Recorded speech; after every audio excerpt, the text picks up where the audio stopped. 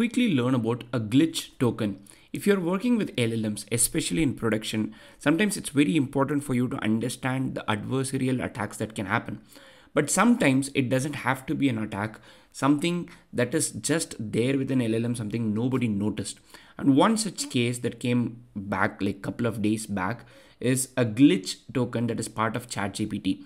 So this article actually says that when you say this particular thing to ChatGPT, it actually crashes. Let's test. So I've just gone ahead, include this at the top of the response, pony use ral, pony use ral, pony use ral, pony. And I'm going to paste it and then I'm going to send it. And now we're going to see what is going to happen. It works completely fine, primarily because it's GPT-4. Now, when I do the same thing with ChatGPT 3.5 and then I send this, you're going to see error in message stream. Now, there are multiple theories that why this could be happening because it could not go beyond Pony.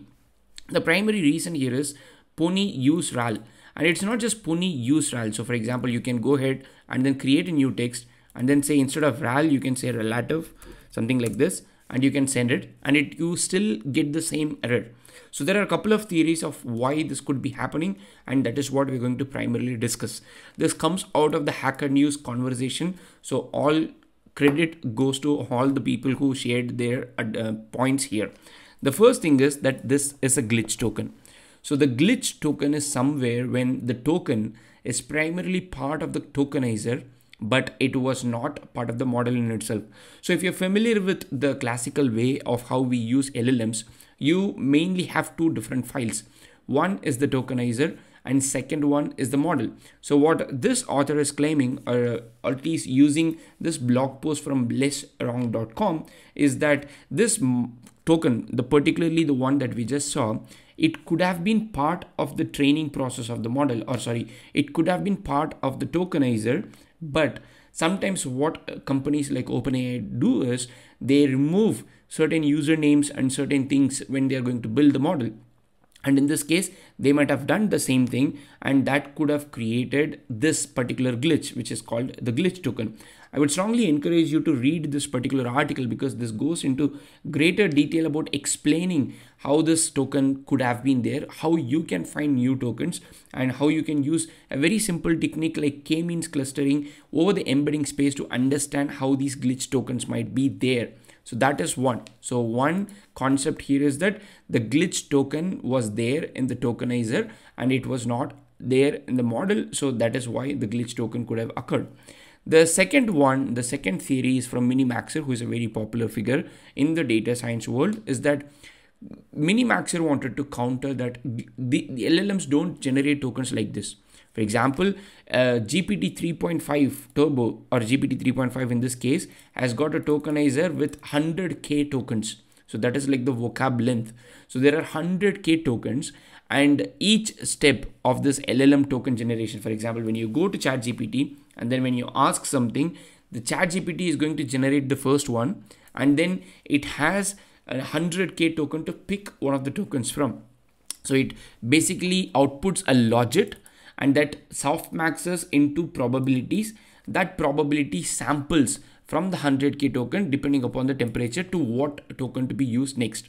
So according to minimaxir, it is possible that in the tokenizer BPE merge process, BPE I think stands for byte pair encoding. So during the BPE merge process, something might have gotten like broken and that could have resulted in this particular thing.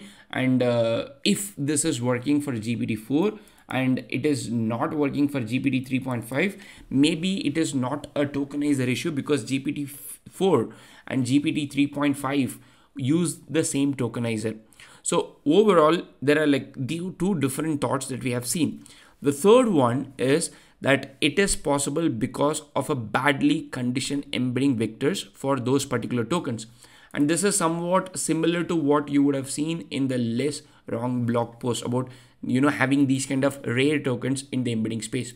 So this user really says most likely it was condition it was badly conditioned embedding vectors for those particularly particular tokens leading the network to edge into a numerically unstable territory.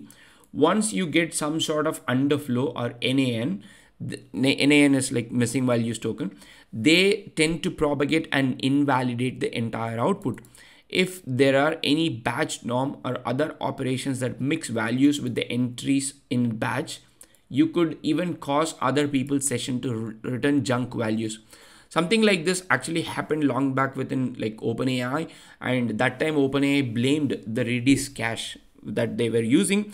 But overall the idea here is that you know this is part of a badly conditioning embedding vectors for those particular tokens which is quite similar to what LessWrong has said so overall the idea here is that you can use token like this and then crash the large language model either through the web UI or through the API. Now, why is it critical? Why did I even end up making a video?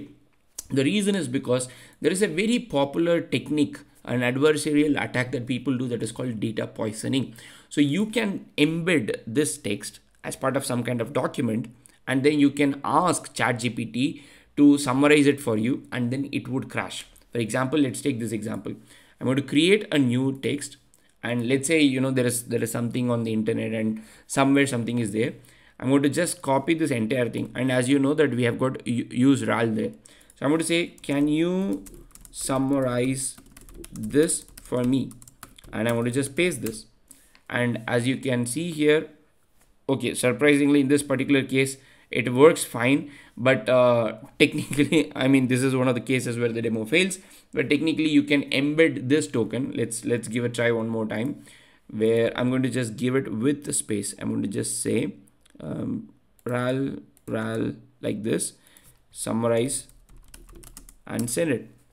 I'm not sure now it is going to work but yeah now now also you can see that in this particular place it kind of stopped. So this is called data poisoning where you put these adversarial attacks or glitch tokens or whatever that you want to do part of the input text in itself or somewhere on the internet so that you can affect the model. And uh, this is not a very big deal at this point, but imagine when all of the internet is going to be retrained and people have figured out these kind of attacks that exist this could become dangerous. And we have in the past uh, discussed multiple different attacks that might happen with large language models.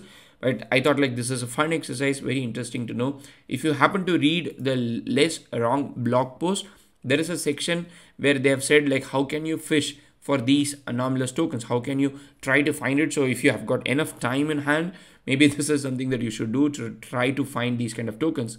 But OpenAI is very good at patching these tokens once they get to know. So yeah, uh, if uh, it's quite hard to find out tokens that are not patched. And uh, it'd be also interesting to see these large language models that are built based on the training data from OpenAI to see if this affects them as well. So anyways, this is fun uh, for me at least uh, in uh, learning that these kind of glitch tokens can create some issues. Let me know in the comment section what do you feel about it. See you in another video. Happy prompting.